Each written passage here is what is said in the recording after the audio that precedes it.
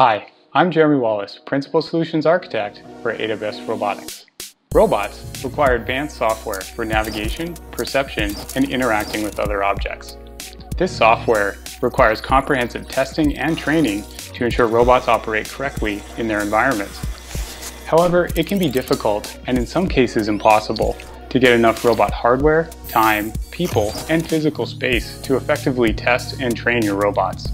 That's why simulation is essential for testing autonomous robots. With simulation, developers and QA teams can run hundreds of tests with a virtual robot, design motion and control behavior, and train machine learning models for perception. This makes it possible to improve robot functionality, increase testing coverage, discover edge cases, and focus real-world testing where needed. By running tests and simulation, teams can quickly find and fix bugs before they even reach the robot hardware. This reduces code errors and ultimately increases your development velocity. However, adoption of computer-based simulation is limited because it can require large budgets, complicated IT infrastructure, and specialized 3D design skills. This is where AWS RoboMaker can help.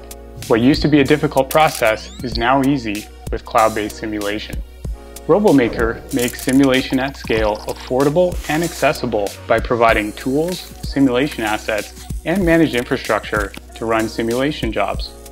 With RoboMaker, internal and external developers can access robots in simulated environments for prototyping and testing. It's easy for development teams to run multiple parallel simulations in large batches and integrate them into automated CI-CD workflows.